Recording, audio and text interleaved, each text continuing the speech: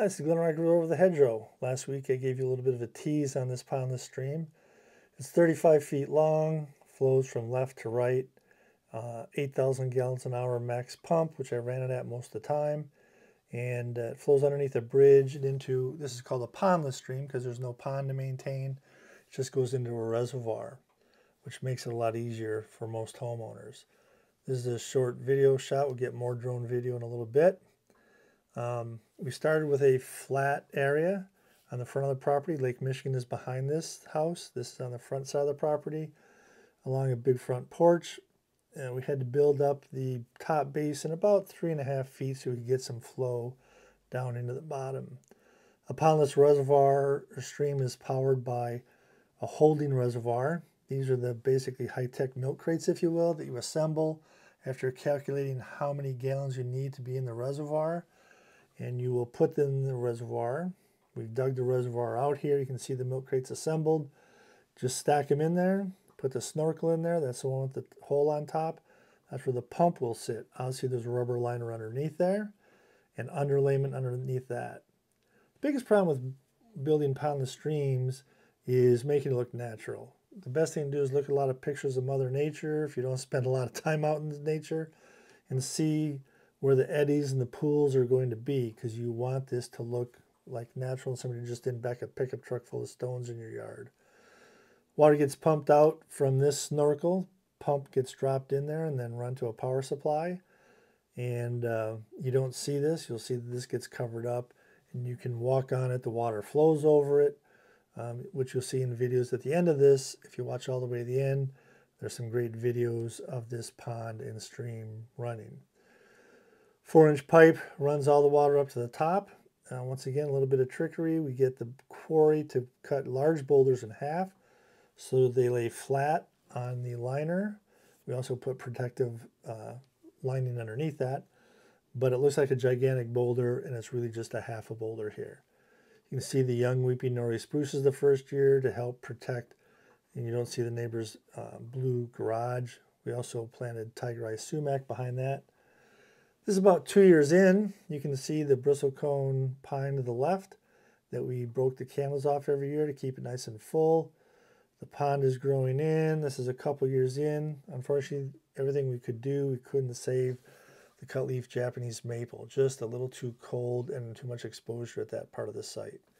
You can see it's starting to grow in, hiding in the neighbor's garage when you're sitting at the base of the stream looking up. Lots of daylilies. You got the yellow fall. You got the yellow color of the tiger eye sumac all summer. Got evergreens around there. You've got ornamental grasses behind there, some panicum, and a nice glider. You can sit right here in the glider, and all eh, that big rock is where all the power supply is connected to an outlet. So you don't see the outlet or the power supply, and then it just runs through a PVC pipe to the pump. Everything's hidden like that. And now I'll leave you with a little bit of sound of this, and we'll just let Mother Nature do her job. You can see the walkway that leads up to the pond.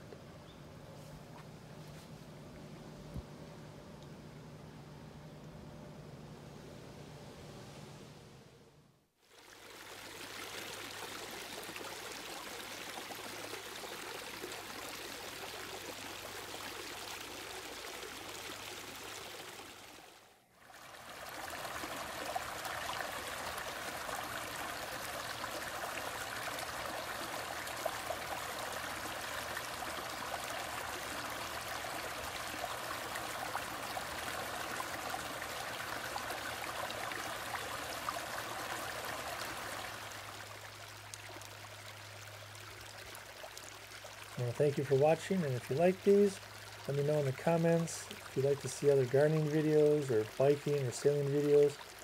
And just remember, these are like can be a great do-it-yourself project. It takes a lot of skill and time to do what this has done. I put a lot of these in, which is why it looks natural, but this is something that a homeowner can do on a lot of different scales.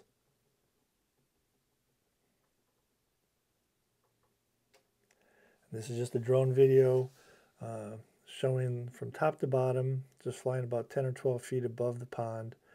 There's no sound with drones, uh, obviously, but this just gives you an overall view of what the stream looks like from top to bottom, along with the frogs, sculptures that love sitting in the stream.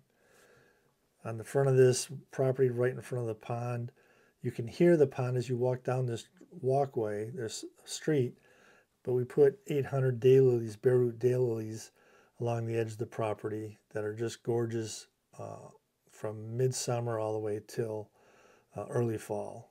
Four different varieties of plant material in there of daylilies.